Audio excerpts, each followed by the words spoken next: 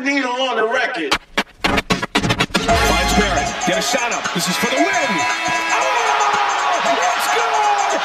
The window. Wins it for the Knicks.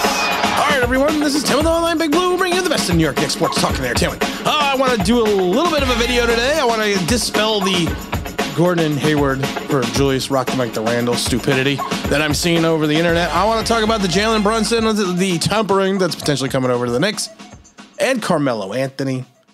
Is he a fit for this team, or should we just let him go? Bye, bye, bye. Uh first, first, you know what? I, I, I keep seeing this on Twitter and I see it on. Uh, I don't even wa- I don't even watch the videos when I see them on Twitter and anything. But I see these stupid thumbnails about Gordon Hayward for Julius Randle.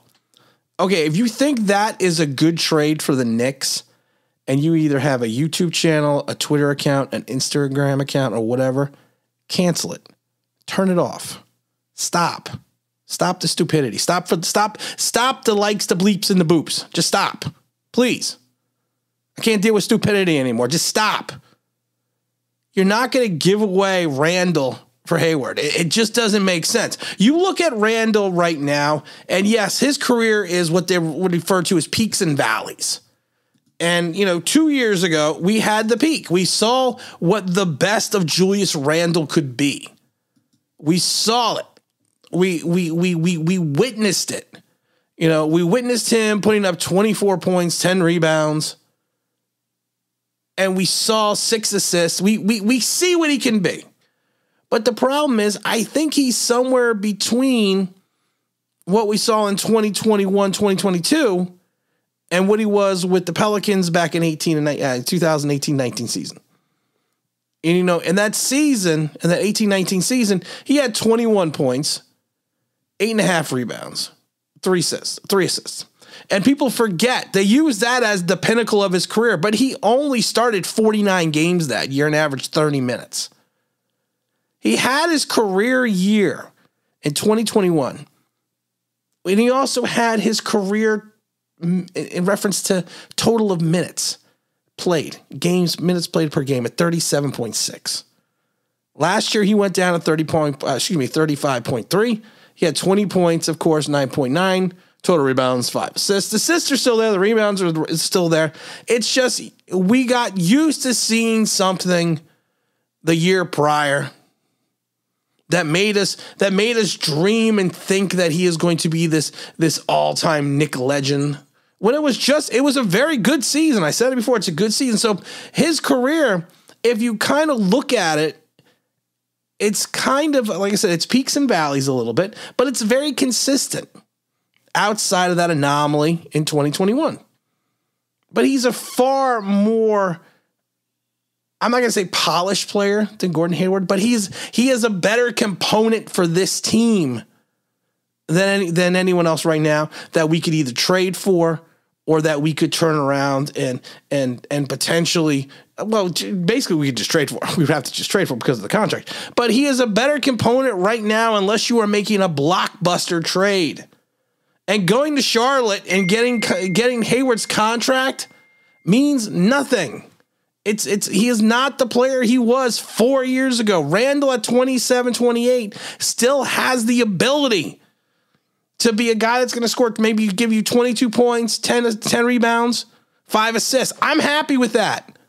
As long as he gets his shooting percentage, his field goal percentage up again because he had a career low outside of his rookie season with the Lakers. But as long as he gets that percentage up, as long as he gets his keeps his three point, he's not going to hit four point. Excuse me, point four eleven or forty. You know, he's not going to hit forty one percent from the three point line. He's he's going to be more of a 35, 30% shooter like he was last year. But he is a better fit for this team than anyone else. So if you see the stupidity, please turn a blind eye because that's what it is. All right, so now they're talking about Jalen Brunson and sitting there, the Knicks are going to get hit with tampering punishment. So what? They're going to lose a second round pick for getting the point guard that they want. That happened to the Bulls and the Heat last year.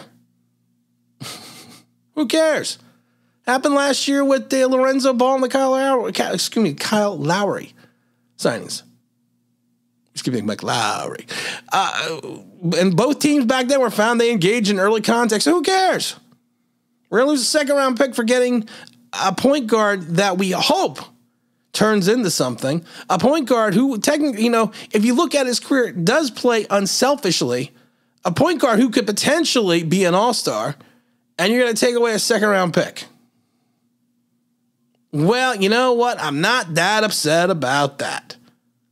I just love the fact that and you know, and the thing is with the Mavericks, the Mavericks got mad because William Wesley appeared courtside for the for one of the Mavericks home game, one of the playoff games against the Jazz, and that left the Mavericks quite frustrated.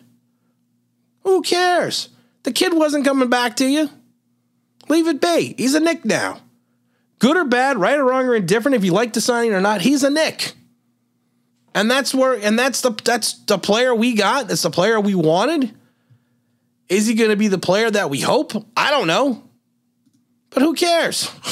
don't care. Take a second round pick. You know what? Take two second round picks. I got I got 11 of them. I keep saying that there should be a Carmelo Anthony reunion. Listen, I'm a Melo fan. I, I'm not gonna lie. I thought his career here was he he was he was a he was a memorable Knick. He was a good Knick. He didn't he didn't come in outside of that one season and you know, in reference to winning, set the world on fire. Carmelo's career is mainly going to be remembered for for for for his personal achievements, not his team achievements. So would you want to bring him back into the fold? Ten-time All-Star, six memorable six memorable season with the Knicks. Would you want to bring him back to be a rotational player. Buy that Vinnie Johnson microwave scoring off the bench. Have that re- have that reunion, have that that that that that that warm fuzzy feeling before his re- before he retires. I mean, people are, people should remember Carmelo more for his days with the Nuggets than the Knicks, but they're always going to remember how he forced his way out of Denver, and and people need to remember this about Carmelo. Carmelo has been selfish throughout his career. He's 38 now, so he's reflecting back on it. He forced the trade out of Denver to New York that year, and it had to be that year because the CBA was changing the following season. And he was going to get less money if he was not traded before the CBA changed. So it's always been about money for Melo. Now, now I'm like I said, he's been he's been trying to chase a ring, going over to Portland, going to Los Angeles. I'm not thinking a reunion would be in the best interest of this young franchise.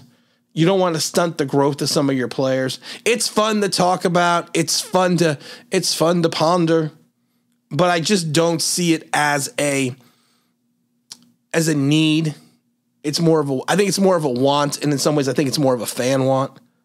But I, he, he's just the vibe isn't to me. The vibe just isn't there for the Melo. We got a lot of fun videos coming up in the next couple weeks. And again, this is Tim with Online Big Blue, bringing you the best in New York Knicks sports talk entertainment. And as always, if you can like, maybe subscribe. If you ring that bell, you know what it means. That'd be awesome.